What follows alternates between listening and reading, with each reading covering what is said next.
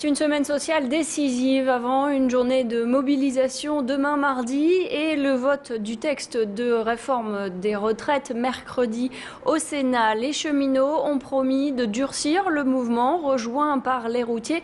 Ils promettent des opérations coup de poing et ça commence dès ce matin avec une opération escargot sur l'autoroute 1 dès 7h entre le centre de l'île et le péage de Fresnes les Montauban. Comme vendredi sur ces images, les routiers prendront leur véhicule personnel pour éviter une suspension de leur permis euh, poids lourd à la SNCF. Aujourd'hui, ce n'est guère mieux, d'autant plus qu'il y a une grève en Belgique. Ce lundi, prévoyez 4 TER sur 10, un corail sur 3, un TGV Nord sur 2 et entre 1 sur 4 et 2 sur 3 pour les TGV de province à province. L'aéroport de Lille a déjà mis en ligne une liste de vols annulés pour demain mardi. Liaison Ryanair avec Porto et Marseille annulée. Liaison Chalair avec la Bretagne. Les vols Air France, 8 vols annulés. Un conseil, vous rapprochez de votre compagnie aérienne si vous devez prendre un avion demain. Du côté des lycéens, de nombreux appels à la mobilisation sont lancés euh, ce matin, tout comme euh, vendredi. Sur ces images amateurs, vous voyez euh, les incidents qui se sont déroulés devant le lycée Baggio. Vendredi également, une lycéenne a été légèrement blessée après avoir été, été entraînée par un motard qui a chuté. Elle bloquait le passage devant son établissement de Waterloo.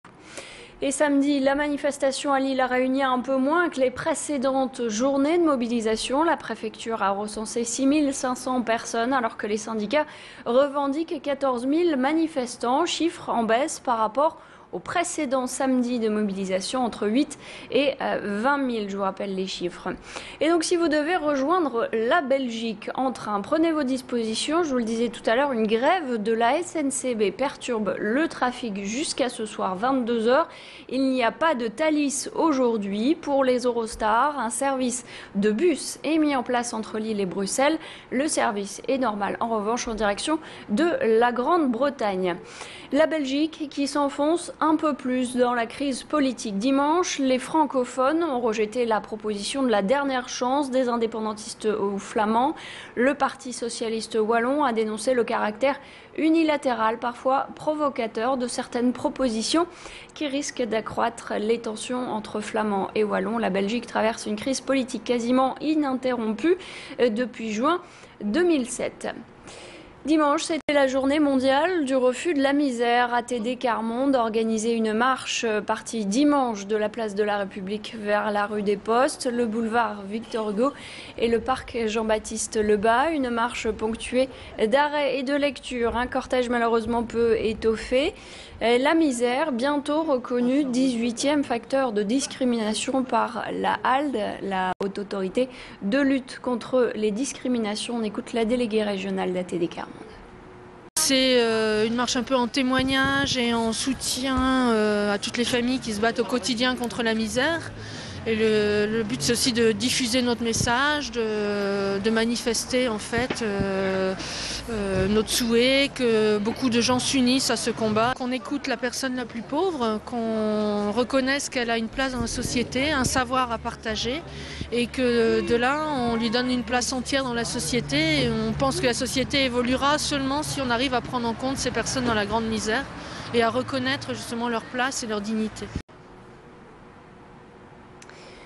Comme tous les ans, à l'automne, opération vendange à Fives. Chacun amène sa récolte, des pieds de vigne donc disséminés un peu partout chez les particuliers, euh, dans le quartier et dans la ville. Et pressage donc à l'ancienne, au pied, pour séparer les grains, le tout forcément dans la bonne humeur et sous la tonalité grecque. C'était euh, le thème choisi cette année. Un vin lillois un pied de nez à la boisson locale, la bière. On écoute le président des vignerons des raisins de Fives et d'ailleurs. Nous étions en train de boire une bière, faut-il le préciser, et on s'est dit si on c'est du vin au pays de la bière, un peu sous forme de pied de nez. Puis on s'est rendu compte après que c'était quelque chose de sympathique, que ça permettait euh, bah, de s'amuser, de, de trouver du sens à, une fête locale. on, continue à, nous erroner, mais euh, on continue à se rire de nous-mêmes, parce que c'est pas sérieux, très clairement. Euh, ça fait quoi de boire notre vin? Ben, À chaque fois, une impression unique au monde, parce que c'est quand même un vin unique au monde, appellation d'origine incontrôlée. Et à consommer bien sûr avec modération. C'était Noël avant l'heure, a déclaré hier soir l'entraîneur du LOSC, ironique quant aux nombreux cadeaux euh, que, selon lui, a fait son équipe aux joueurs de Lyon. L'Olympique lyonnais a infligé aux Lillois leur première défaite de la saison en Ligue 1, 3 buts à 1. L'OL a rapidement ouvert la marque avec Lisandro Lopez dès la troisième minute. Gourcuff double la mise juste avant la mi-temps. Retour de vestiaire à la 52e minute. Moussasso réduit la marque sur un retourné acrobatique, mais Lisandro à nouveau transforme un penalty pour une faute de Florent Balmont sur Kelstrom. Au classement, Lille est 6e avec 14 points. Valenciennes qui a perdu 2 buts à 1 en déplacement à Lorient est 15e. Lens a tenu en échec sur sa pelouse les premiers de ce championnat. Rennes, les Lensois sont 19e avec 6 points. Prochain rendez-vous pour les Lillois, ils sont de taille. Réception du Levski Sofia en Europa League jeudi à 21h avant un autre grand rendez-vous. LOSC OM au Stadium dimanche, euh, donc dimanche prochain à 21h. En bref, en du handball national 1 féminine, euh, l'homme euh, a fait égalité partout face à Nantes 27 à 27 samedi soir. Une première mi-temps euh, plutôt dominée par l'homme. En seconde mi-temps, il a fallu s'accrocher. Match très physique, apparemment un match particulièrement serré. À noter que c'est une Lilloise, ou plus particulièrement une Lomoise, qui a été élue meilleure joueuse de cette rencontre. Il s'agit de Marion Malina.